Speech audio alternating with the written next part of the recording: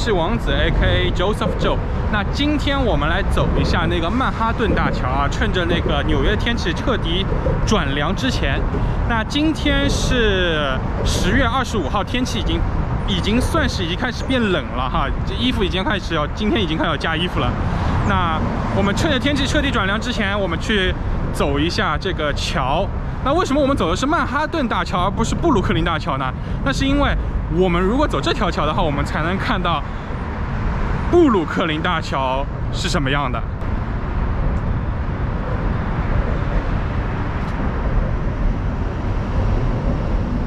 那曼哈顿大桥和布鲁克林大桥这两座桥呢，是作为纽约的一个地标建筑之一，都是属于地标建筑。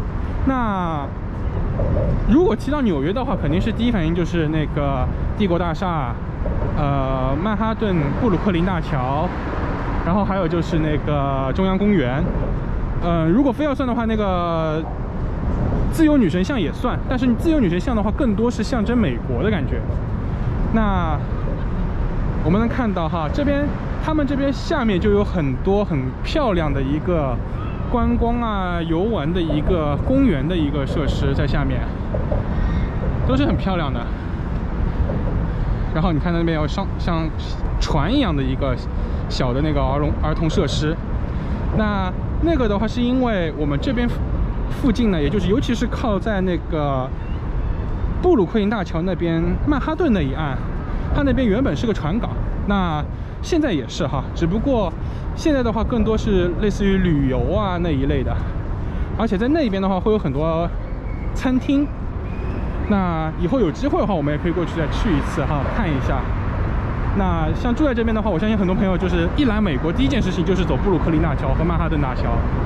那还有就是中央公园、时代广场，那是肯定会要走的一个部分。所以说，我们今天要这样子走一下来看一下。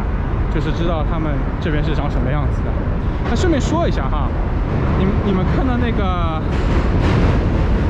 看一下，你们看没看到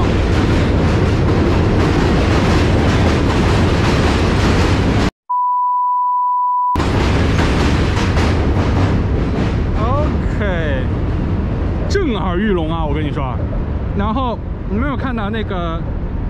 布鲁克林大桥这一座桥，呃，桥这边墩上面，它上面有一个美国国旗，对不对？我记得是前两年的时候，有人爬上去，悄悄爬上去，然后把旗给换了，变成了一个不小的一个事情啊，是有这么一件事情的，所以说当时闹得还挺大的嘞。然后还有些朋友可能看到那个曼哈顿大桥、布鲁克林大桥，就很多电影。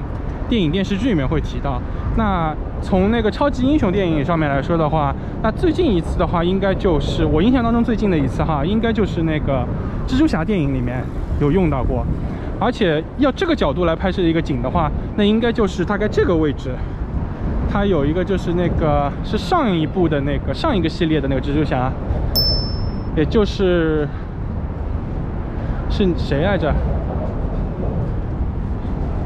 不是托比来着，反正他是有把那个蜘蛛丝上面做了一个记号的，挺有意思的。他那个设计，那个剧情。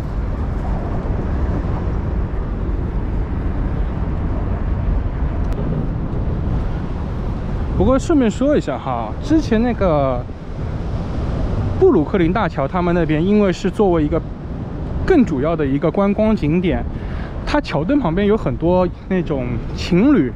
把那个锁挂在这种桥的那个边上哈，就希望就是类似于中国的一个呃永结同心、天长地久的一个一个寓意哈。那但是又就是因为这个原因呢，又导致前两年有人说这种锁挂的太多了，增加了那个桥的一个负担。然后当时是有说有计划要去掉一批，那不知道他们后面有没有真的去掉这一批哈。挂上去是因是因为桥有够老的，然后就寓意时间很久、天长地久的感觉。那结果又因为这个原因，所以要被卸掉，这个 太搞笑了。不过这也算是个比较 romantic 的一个做法了。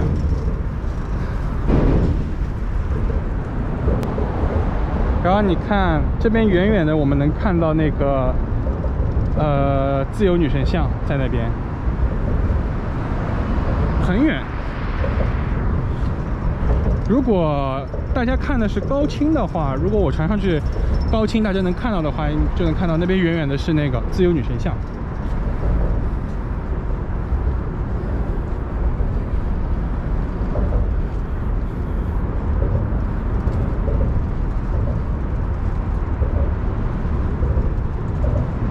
说现在我们走了快十多分钟，已经走了那个桥的一半了。曼哈顿大桥，那曼哈顿大桥其实更多是用于那个地铁交通，因为它中间主体是一个地铁，然后再加上那个汽车行驶。但实际上还是以地呃地铁为主了，中间我记得是汽车对。然后同时左右，同时左右又有。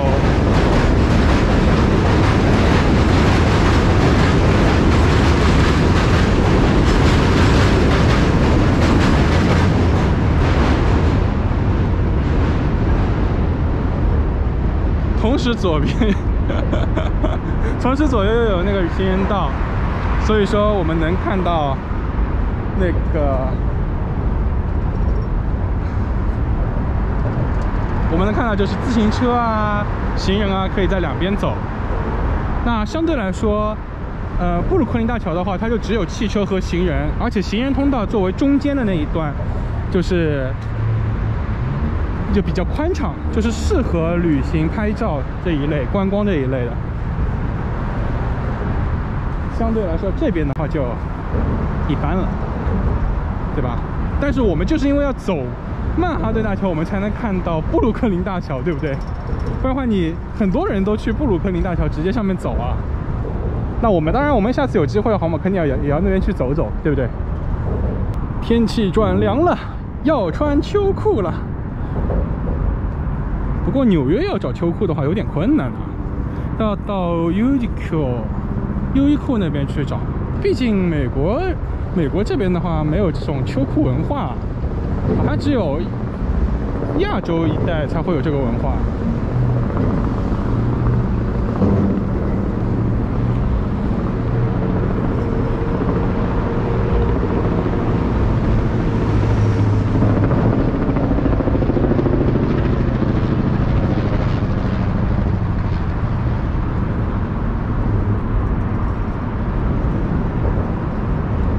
主要的一个景啊，现在已经开始走到曼哈顿那一半了。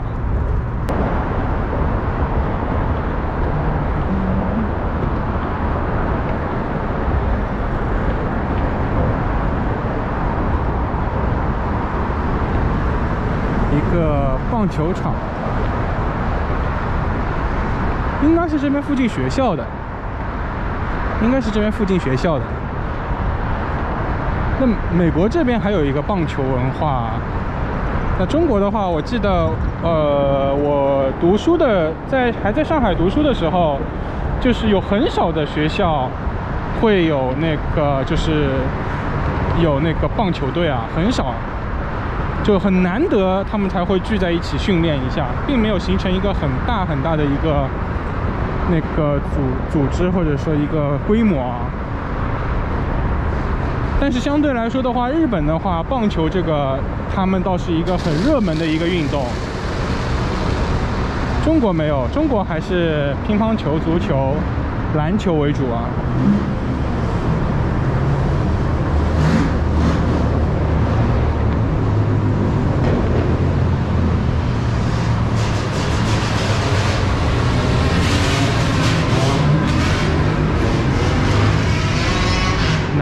刚才有声音，是飙车党啊！飙车党在飙车。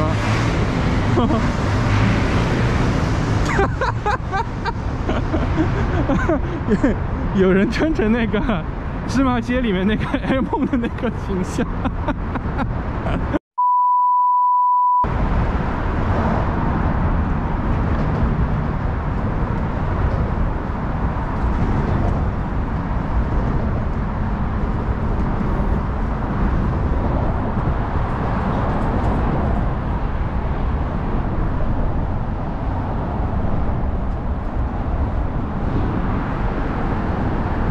这边应该是建筑施工的那个人员在这边放的，临时放的。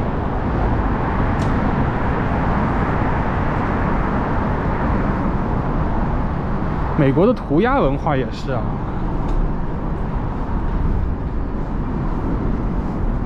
好，有很久了。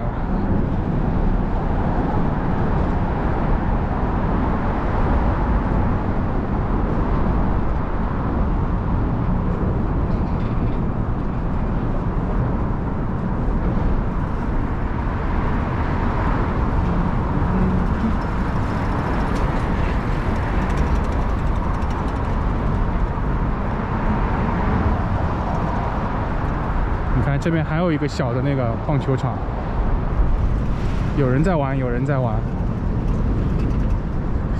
小朋友都是。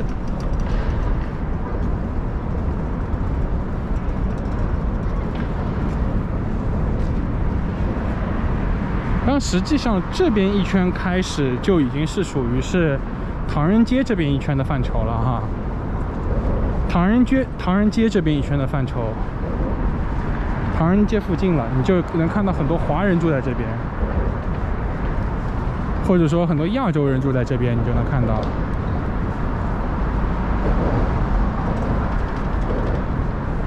也是作为一个很老的一个街区哈，在这边，它靠近布鲁克林，又靠近那个，就是也有在曼哈顿边缘。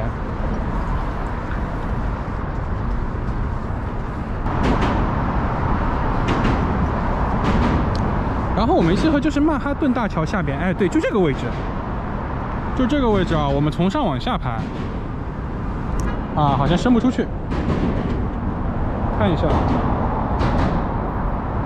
这个位，也就是这个位置哈，它这边是那个之前那个电视剧叫什么来着，《The Garden City》歌坛市，罪恶歌坛市，那个头两集的时候，他在这边拍了一段，就是那个呃 Garden 那个从追那个追捕一个嫌疑人，然后从厨房后面跑出来，那后面取取景就是跑出来之后，然后拿着一个。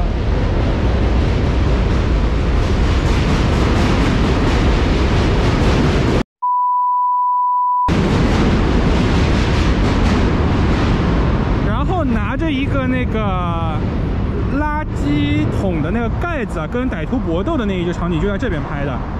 那当时我是后呃后勤的工作人员啊，所以说那天我拍摄我是通宵啊，那天我还值班，因为我首先要做一个那个叫什么，前一天提前就是确保这边附近啊，你看大家可能看到这边就这条街区啊。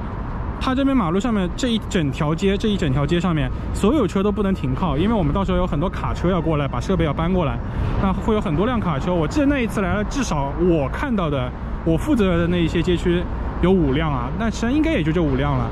然后这边站满，然后旁边还要放我们那个演员的那个拍摄的，呃，拍摄那个叫什么那个导演座位啊，还有那个叫什么吃的那些摊位啊什么，这一排全部占了。然后我们要确保这些车全部都是提前一天，就是前一天晚上就不能在这边停靠。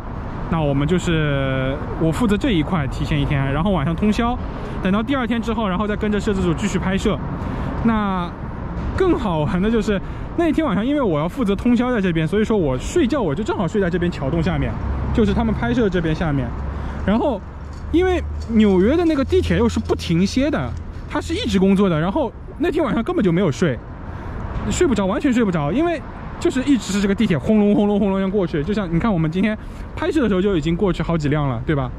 它就一直都是这样轰隆轰隆，然后整导致我那天第二天早上醒过来，我根本就没有没办法那个注意力集中的去工作，就是整个就是喝了一杯咖啡，然后马上想睡觉的那种，完全没有用，完全没有用，喝茶喝咖啡完全没有用，所以说。这边是一个取景地。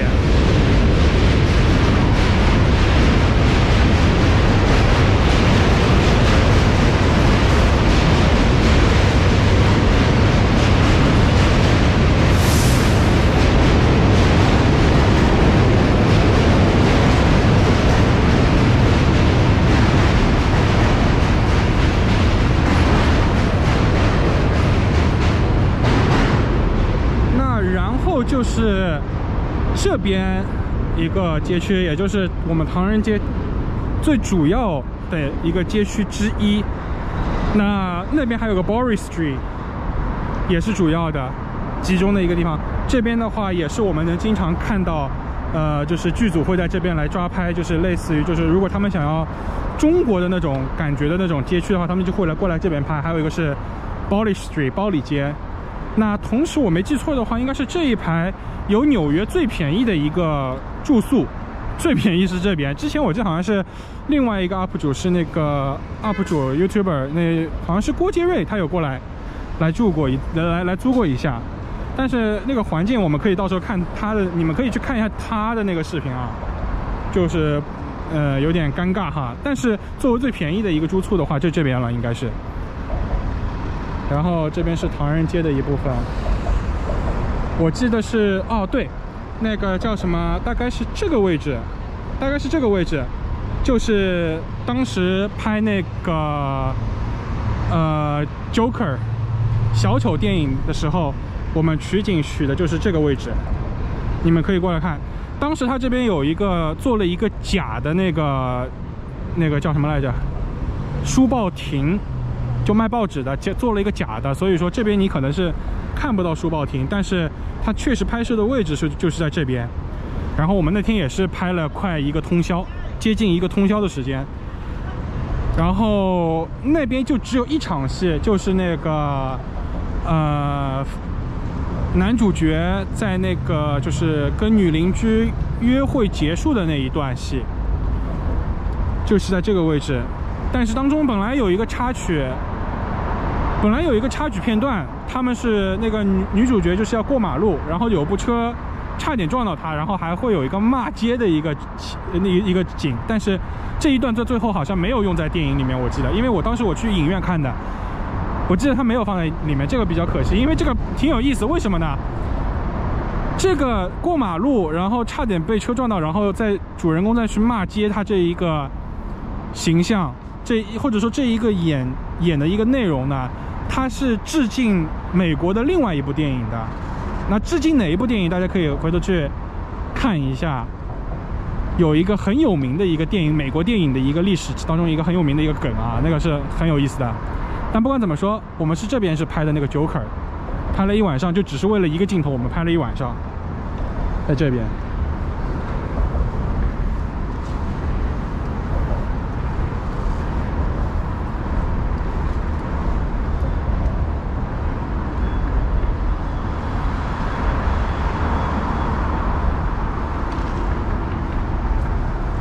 后我们特意也说一下哈，这一栋红色建筑啊，就是我们平时就说的，在纽约这边人我们说的孔子大厦，就这一栋啊，还有包括那旁边那一栋，它这一栋就是孔子大厦。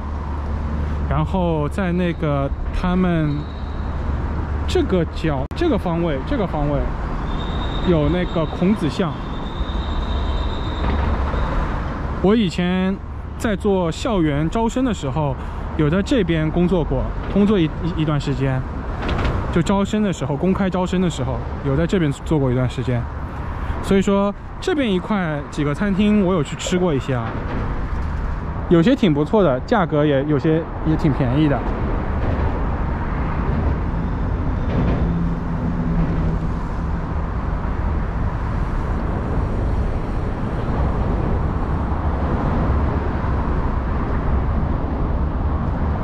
差不多就走走完了，已经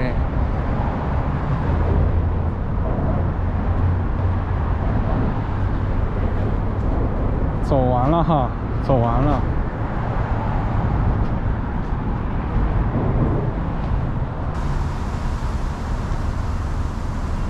哎，不知不觉讲解一下就半个小时过去了哈，那说明这边还确实有那个。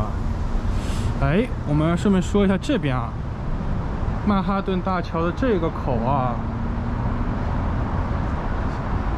我们这边称之为当地人称之为小凯旋门啊，就这边。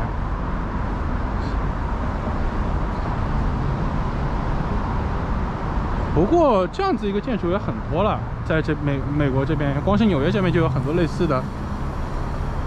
那不管怎么说，我们来拍一下它的正面。然后，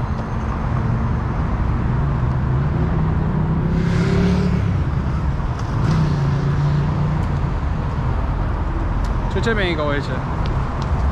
那我们接下来的话，我们是要去一个餐厅去吃东西，去看一下。很久没有出来那个看过了哈，也是一个，嗯，怎么说呢？日本料理店。那我们等会儿看一下喽。我们这边先切断一下广告，之后马上回来。虽然是没有广告了。哈哈哈来了来了来了！比扎鸭居酒屋的意思。正好音乐打开。哦，人还挺多的今天。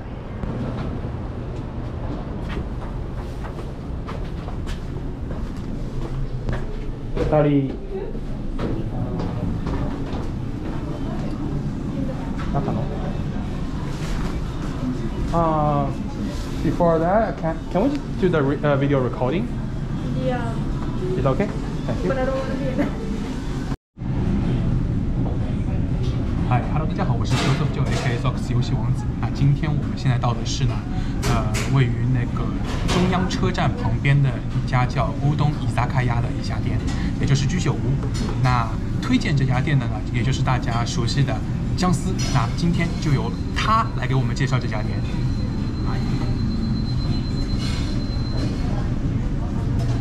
Hello，大家好，我是姜思。呃，这家店呢是我什么时候发现的？我也不知道，大概发现了有两年了。我很喜欢来这家，因为这家第一平价，就我觉得这家是所有我吃的居酒屋，它是比东村便宜啦，东村的价钱会比这边高一点。然后这家东西也比东村多，然后除了没有寿司以外，这家大概居酒屋里面的什么东西都有卖。就以前我是我就想吃寿司嘛，然后收到了这家店，然后这家店我走到这家店门口，We don't sell sushi，好像应该不是，应该是 We don't have sushi 才对。啊，我们还有苏西，但是但是有那个有那个，它门口贴的是 We don't have sushi，门口就贴着。但还好，就是至少有那个啊，有那个洞嘛，呃沙呃沙西米的冻。对，它有水星灭冻，然后我就吃了水星灭冻，然后一直就吃到现在。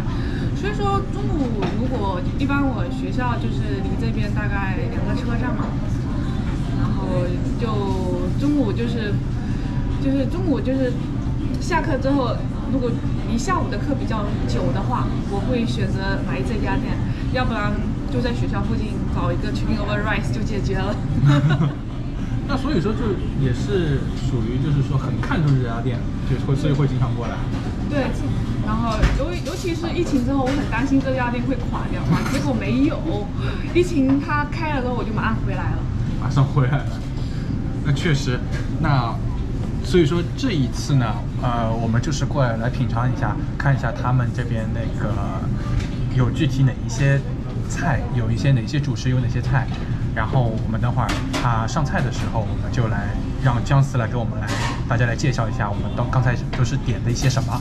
那同时呢，我们其实也能，呃，虽然说我们镜头可能没有拍到，呃，因是因为也是要尊重那个其他顾客的隐私权哈。但实际上今天其实顾客还挺多的。然后店面的话呢，本身那个工作人员也很认真，虽然很忙，但是都很认真。所有人都是那个在门口的时候做过了那个体温检查，然后还留下了联系方式。所以说他店家本身在这方面的一个呃管理上面是非常的优秀的。那所以我们也是比较安心，所以说才会到店内来吃。按照今天的一个气温来说的话，实际上呃已经不太适合在外面吃饭了。那这也是可能可能会影响到接下来纽约这边一些餐饮业的一些发展。但是呢，呃，总体来说，如果所有人大家都能像嗯这家店一样做到那么严谨的话，而且所有人都是在外面能戴上口罩的话，那相信呃这个应该也是没有问题的，在室内堂吃。那我们接下来来等一下，看它上菜的时候是什么样子。一咖喱饭。我我我们来看一下，就转过来。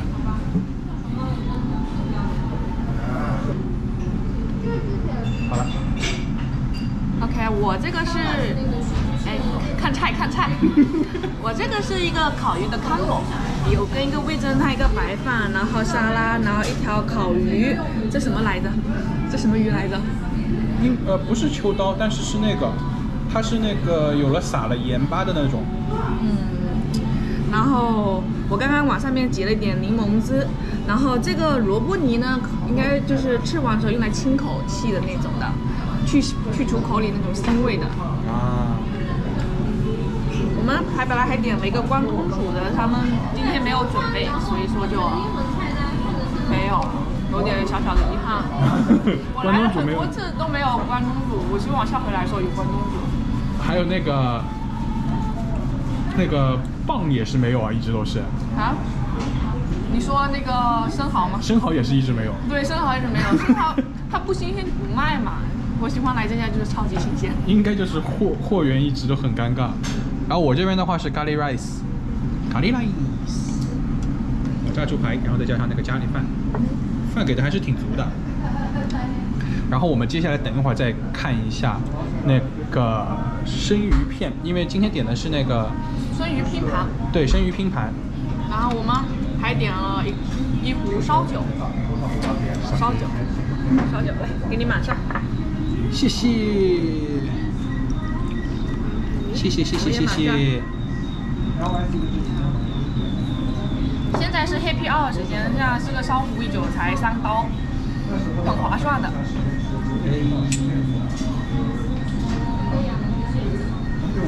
有点凉掉了。那也是厉害的。好，那我们接下来就等一下那个拼盘哦来了，好像好像。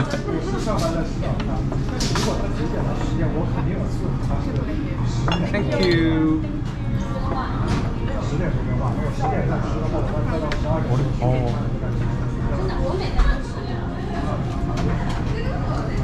手它生鱼拼盘，呃，不，好像没有给酱油。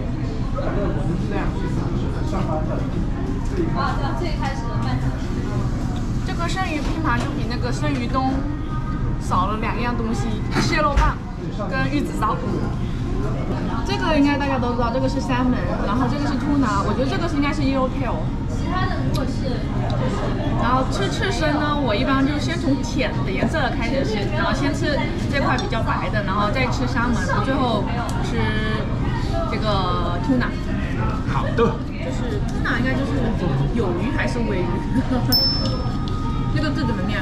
啊一个有，一个鱼怎么念？tuna 的中文就是那个一个鱼一个有还是一个有一个鱼？对，中文。但是吞拿的话就是吞拿。这家的人均大概吃到吃饱的话，人均就二十刀左右就行了。不像东村，东村如果吃饱人均大概就四十多块钱，肯定要四十刀左右。像我们这样今天点了点小酒，坐下来聊天的话，应该人均不会超过四十。我觉得东村可能会超七八十都有可能。其实等会儿看一下就。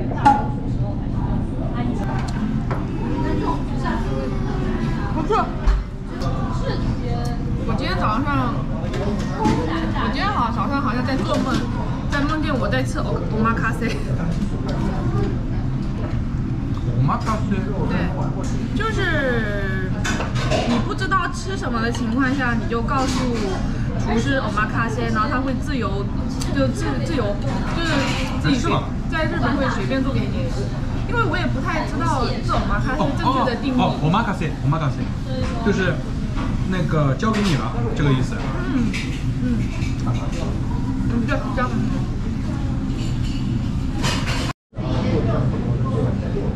嗨。然后我们后面又追加了一个新的小菜，生鱿鱼瓦萨比酱，对，叫生的那个 taco wasabi。塔锅瓦萨比就把那个是鱿鱼就切成小丁，然后是跟瓦萨比放在一起，它里面有放一些葱啊什么的，然后我觉得它里面的瓦萨比不够多。试一下。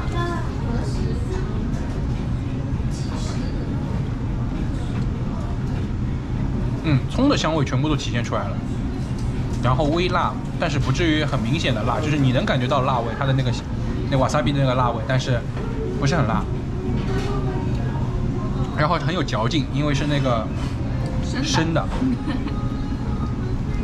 那个肉很有嚼劲。吃的太饱了，非常的 胀。然后今天他们这边呃这些餐点，再加上我们之后实际上有一个没有算进去，没有拍到，但是饺子啦。然后那个一一一份点心饺子加上去的话，总共是五十四五十四块钱，然后还没算上小费的话五十四。那总体来说真的是比较划算的。然后唯独一个就是，我个人建议大家下一次过来的时候，那个刺身最好是点那个它的刺身盖饭，因为同样的价呃价格只是贵了三块钱，但是它的量要比本身刺身要多很多。而且刺身还多了两样，两块玉子烧跟两个蟹肉棒。对对对，然后这样子的话是这三块钱是绝对是值的，所以说个人建议是你，如果你只是要刺身的话，你不如点刺身盖饭，这样子会比较划算一些。那其他的话都是很棒的，都是价格和它的口感、吃吃的味道都是很很赞很赞。他们的挑选食材确实是很很挑的很好，真的是挑的很好。对。哎，本来还想再吃个甜品什么，这实在是太好了。对，甜品到最后就是没有地方放了，连连喜欢吃甜品的姜丝都没有胃口吃，都没有那个位置去吃甜品了。太饱了，他今天晚上太吃了，那不管怎么说，那这一家店的话，我们是也是比较真的是很推荐啊，同时也是这次是僵尸推荐的这家店。那所以说有机会的话，大家也可以过来来试一下。那地址的话，我会到最后放在视频的最后面。那我们今天的节目就到这里喽，拜拜。